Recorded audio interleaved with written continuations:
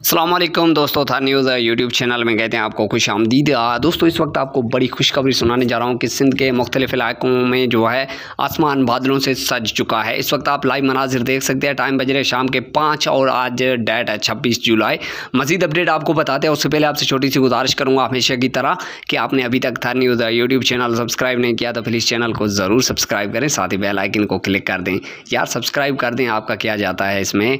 जी हाँ दोस्तों तो आपको बताता चलूँ कि छब्बीस जुलाई दो 2021 आपको रिकॉर्डिंग करके दिखा रहा हूँ। शाम के बज रहे टाइम पाँच। तो इस वक्त उमरकोट और इरद गिरद जो आप लोग देख सकते हैं, यहाँ पे आसमान बादलों से छा चुका है।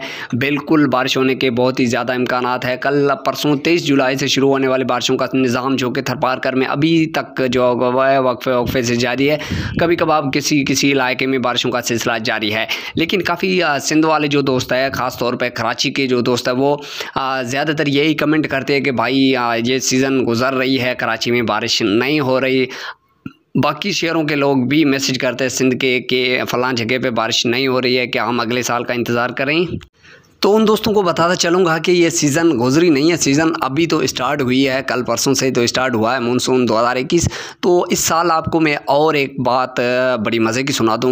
मज़े की नहीं है, थोड़ा ख़तरा भी है। सिंध के हालात जो है 2011 वाले बन सकते हैं, जो बड़ी उम्र के लोग हैं, उनको पता होगा कि 2010 की एंड में और 2011 की स्टार्ट में सिंध के मुख्तलिफ़ इलाकों में, सिंध के इलाकों में कैसी बारिश हुई थी। तो महकमा मौसमियात ने इस मरतबा फिर वार्निंग दे दी है कि सिंध के हालात जो है दो हज़ार ग्यारह जैसे हो सकते हैं। तो काफ़ी सारे जो दोस्त है, वो बारिश का इंतज़ार कर रहे हैं, वो कह रहे बारिश नहीं हो रही है तो उनको बताऊँगा कि कुछ दिन सबर करें, पूरा का पूरा सिंध बारिशों से भर जाएगा। इन ताला बहुत ज़्यादा बारिश होगी। मज़ीद अपडेट के लिए देखते रहें, थर न्यूज़